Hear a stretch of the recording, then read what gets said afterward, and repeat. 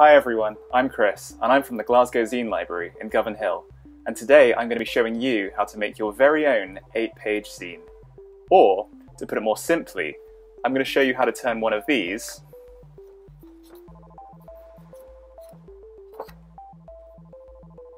into one of these.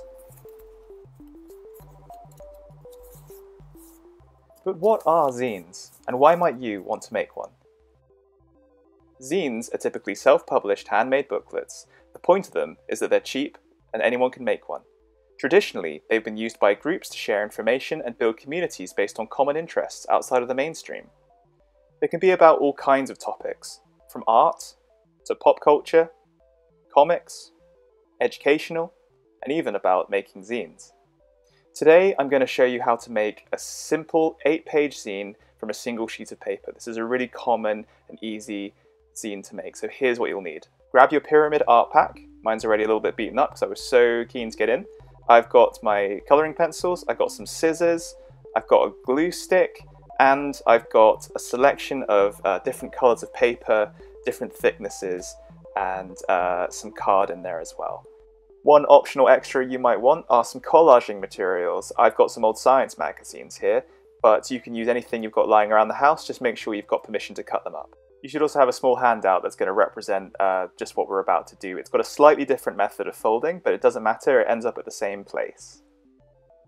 So, taking a piece of paper from your pack, any one you like, although I do recommend taking a slightly thinner one because this will be the one that gets folded quite a lot and it's a bit easier. Fold your paper in half like so. This is called a hamburger fold. Uh, you're just basically folding it straight down the middle so you have two even sides. That's your first fold. Secondly, you're going to want to unfold that again and then taking uh, it from a different axis, you're going to want to fold it lengthways in half. So again, just folding it in half, but long ways. This is called the hot dog fold. And yeah, it's about as delicious as it sounds. Taking each outside edge, fold each half in half again to the center line. Uh, you can see now that when we do that, the outside edges are meeting in the middle and you can start to see uh, what your 8-page zine will look like. You can start to see the sort of basic shape of the panels. Okay, now it's time to make our first and only cut in the making of this zine. So, take your paper and your scissors and fold your zine uh, in half in the hamburger formation, so that's halfway uh, folded there. Now you can see that you've got a cross on either side. Uh, what you need to do is take your scissors and cut into that cross. Now you want to cut into it right into the center of that cross. And if you can be careful about it, no further and no shorter. Now, okay, you'll see here that when you open it back up, you have what appears to look a bit like a mouth. It's sort of just a sort of central hole or a slit in the center of the zine. Um, this is where the magic happens. This is where a piece of paper really becomes a zine. So taking one side of the zine in each of your hands, I'm going to show you this a couple of times so you, you can get it.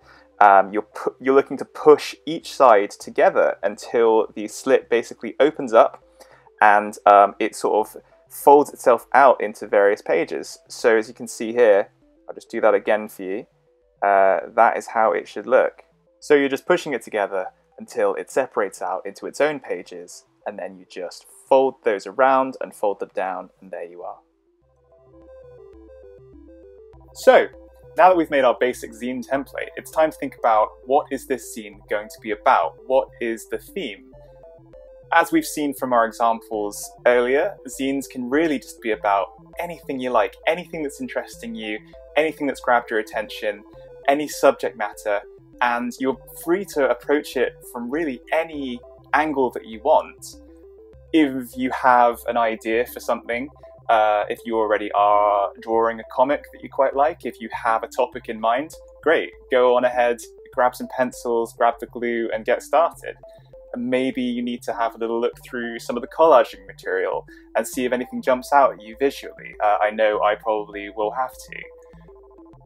If you're really stuck, one of the best things you can do is talk to people about it maybe your brother or your sister or your mum or your dad have an idea about a topic that uh, might be quite interesting to do, or maybe even to work on collaboratively.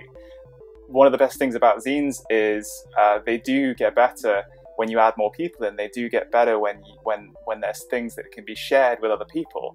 So, if you have an idea, or even if you don't, don't be afraid, just jump on in and get started.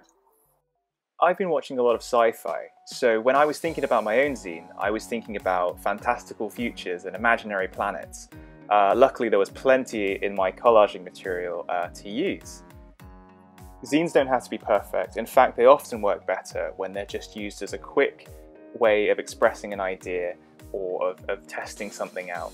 So I tried to let uh, what's in front of me sort of guide uh, what I was doing. And as I was looking more through the magazines, I was finding that there might be a sort of narrative that could go through my zine, something I might not have really thought about talking about.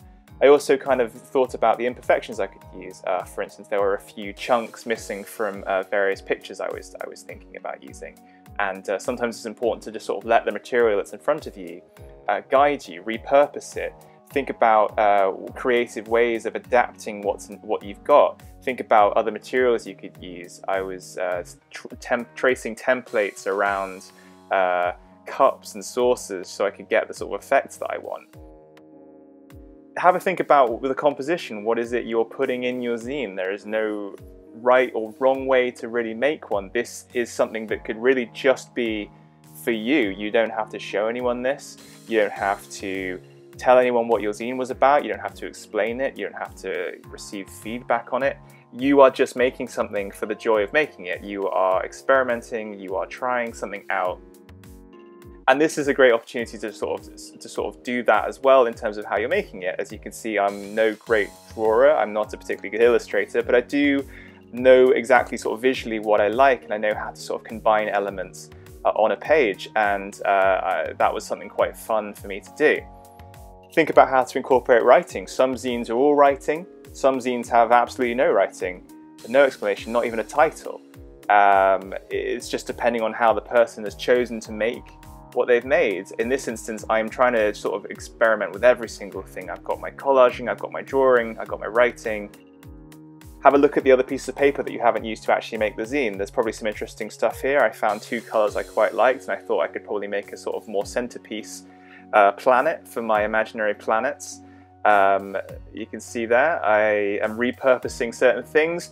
I'm quite visually interested in quite circular things for this zine. I've got um, electrons operating as, as asteroids. I've got uh, bits I can draw around. I've got circular bits of machinery that I, I think might make quite good, interesting uh, space junk.